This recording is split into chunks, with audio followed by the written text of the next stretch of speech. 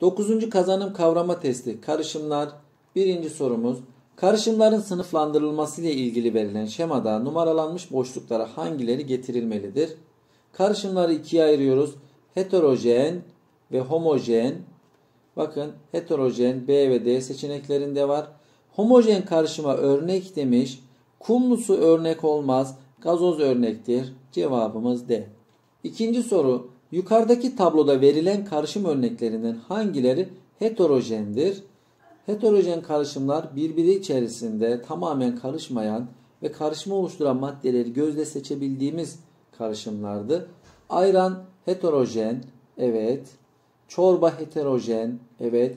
Maden suyu homojendir, yanlış. Kolonya yine homojendir, bu da yanlış. Cevabımız 1 ile 2, B şıkkı. Üçüncü soru. Yanda verilen kaptaki suyun içerisine bir miktar şeker atılıp karıştırılıyor. Bu olay ile ilgili aşağıdakilerden hangisi söylenemez? Su çözücü, şeker çözünen bir maddedir. Evet, miktarı fazla olana çözücü, miktarı az olana çözünen diyoruz. B. Homojen karışım yani çözelti oluşur. Evet, şeker suyun içerisinde tamamen çözünür ve oluşan yeni maddemize çözelti diyoruz. C. Şeker suda iyonlarına ayrılır demiş. Hayır, moleküllerine ayrılır olacak arkadaşlar. Tuz iyonlarına ayrılır. Cevabımız C şıkkı. Dördüncü soru. Şekilde verilen kaplardaki sıvılar ile ilgili ifadelerinden hangileri doğrudur? 1. Her ikisi de homojendir. Evet. 2. Saf su bileşik. Doğru. Şekerli su ise çözeltidir. Doğru. 3. Her iki sıvıda formülle gösterilir. Yanlış arkadaşlar. Saf suyu formülle H2O şeklinde gösteririz. Ancak şekerli suyun bir formülü yok. Sadece özel adı var. Mesela şerbet diyebiliriz. Cevabımız 1 ile 2 B şıkkı. Beşinci soru.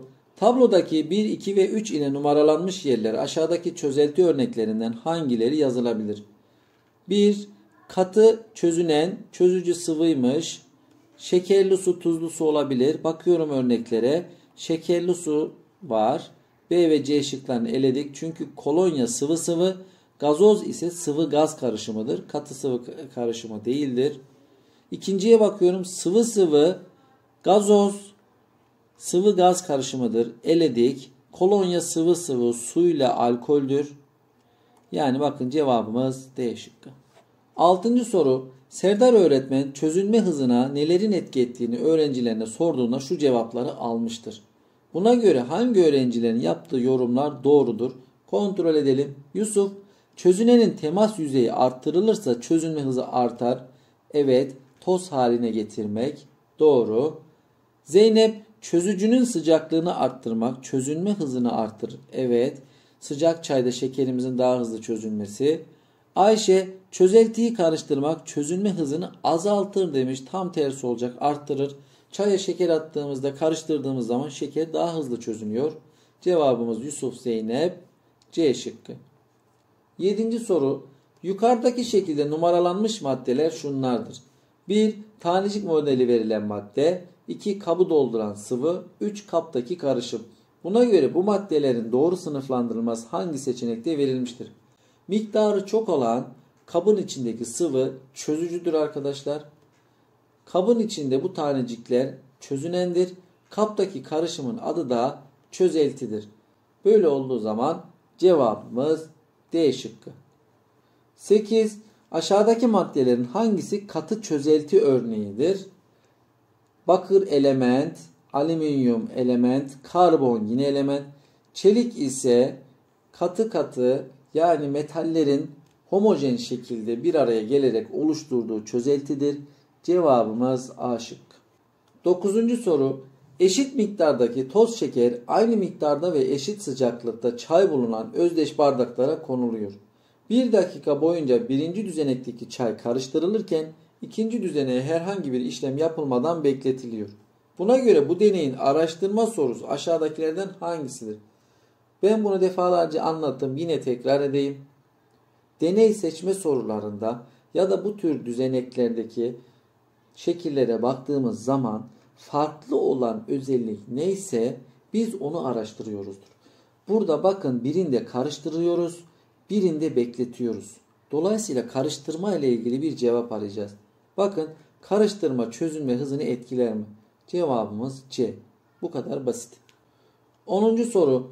Kum ve talaş tozundan oluşan karışımı ayırmak isteyen bir öğrenci ilk olarak verilen yöntemlerden hangisini kullanmalıdır? Tabii ki yüzdürme. Çünkü kum suyun dibine batacak. Talaş ise suyun üstünde kalacak. İlk olarak bunu yaparız. Sonrasında ise süzgeçten geçiririz. Cevabımız C şıkkı. 11. soru. Şekildeki kaplarda bazı karışım örnekleri verilmiştir. Bu karışımları ayırmada kullanılacak yöntemler aşağıdakilerin hangisinde doğru verilmiştir? Zeytinyağlı su, tuzlu su, alkollü su.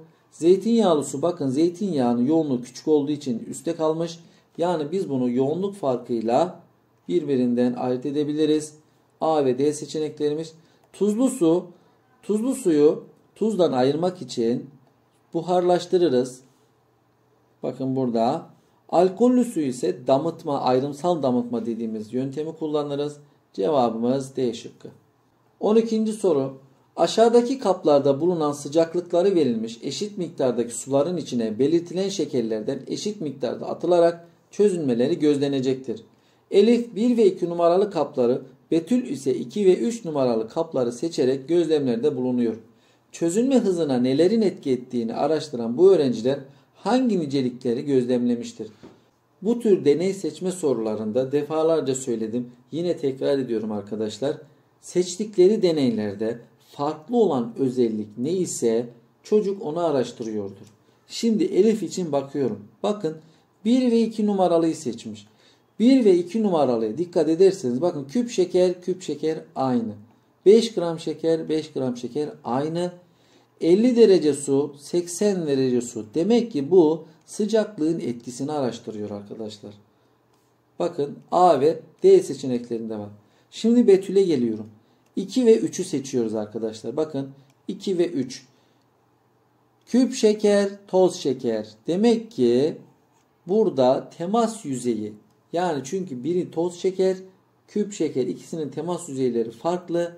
Cevabımız A şıkkı.